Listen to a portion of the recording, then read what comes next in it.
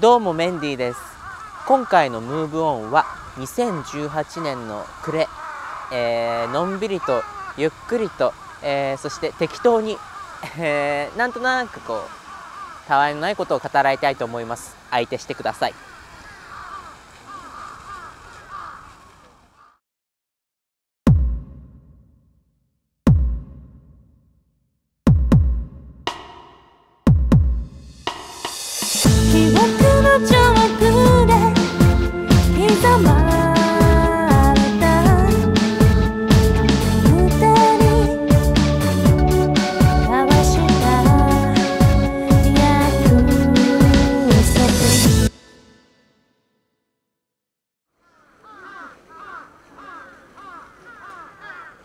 えー、今回2018年最後のムーブオンは代々木公園にやってまいりました、えー、以前に明治神宮にはね訪れたことがあるんですけれども実はあの代々木公園来てなかったなと思ってで本当にねあのー、なんとなく年の瀬で疲れが溜まっているのかどうかわからないけれどもあのー、ぼーっとねあのたわいのなんてことない、えー、そんな会話を、えー、このね、えー、ムーブオンを通して皆さんとしたいなと思って、まあ、一方的にねこっちがしゃべるだけになっちゃうんだけれどもよろしくください。えー、2018年というとまあそうねいろんなことが世の中もありで私自身はっていうとなんかうん平和すぎたのかなっていうような自分自身が。あのまあ生きてる以上ねなんかこう腑に落ちないことっていうのはたまにもちろんありますけれどもでもそれはもうあの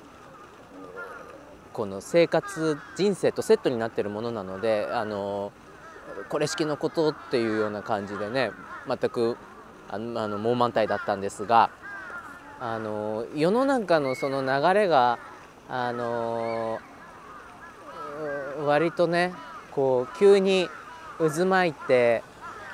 まあほらあの平成が終わるっていうのもまあそれはほらあくまでも日本視点日本人としての視点でっていうことだけなのでねあの他の国からしたらあまり関係ないのかもしれないけどなんかその平成があの終わっていくっていうこの世情と本当にニュースから流れてくるあのいろんな出来事っていうのが結構こう年号末にこんなにいろんなことが立て続けに起きるんだっていうような、うん、本当に著名の方があの例年の日じゃないくらい今年はあの手に召されたりとかあとあのねまあいわゆるそういう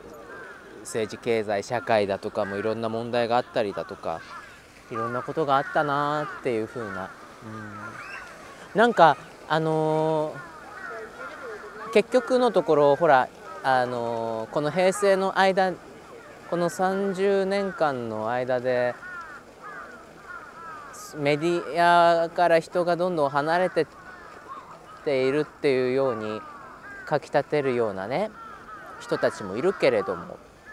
決してそういうことはねない気がします。やっぱりみんなあのテレビを見てるしだからねこういうふうなあのテレビ疲れをしてこう休日に家族でね公園に訪れたりだとかそういう風にしたくなるんじゃないかなだから私もなんかねメディア疲れしました今年は。このとにかくその流れてくるニュースにちょっとねあの流されそうになったな珍しく私としては。うんだから本当になあのなんだろうなもしかしたらこれね今回のムーブを見る人から見たらもうただのこうストレスの発さんじゃないかって捉えられる方もいるかもしれませんがあのそもそもこの「ムーブオンっていうのはあの毎回毎回その決まりのないプログラムなのでねあの、まあ、こういう回もあってもいいのかなっていうか今回特にね飲み物用意してるわけでも食べ物を用意してるわけでもなく本当にねこの自然豊かな勢いのある噴水をバックにね あのたらたら喋ってるだけなんだけれどもうん。でどのくらい今マイクが拾ってるかわからないけれどもあの私のこの2018年の気持ちを代弁してくれるかのようにねあのカラスたちがあの泣き叫んでおります、うん、カラスはクロウでしたっけ？ね。よかったよかった。わあ噴水が上がってますね。でもねなんかあの公園っていいね。あのー、やっぱこういう広い公園は広大な敷地の中にいろんな人種の方たちがいてでこう日本なのに日本じゃないような感覚でも楽しめるしね。でその日本人ってこう何て言うんだろうちょっと不愛想なところあるけど海外の方だと目を合わせてこう会釈してくださったりとかしてとても気分が良かったりします。あのそれでまた人と同じようにねこの代々木公園の特徴っていうのはこう池の中にあのカモがいたりでカラスがいたりしてね面白いんですよ。あーって。なんかまるでその日本の中にいるうん、海外の人たちのその交流を見ているかのような感じで。そうそう。なかなかこう水鳥とカラスが一緒になるっていうところをねあの目の当たりにすることって私はないんだけどあとカラスが水浴びとかしてたりしてね可愛らしかったりするの。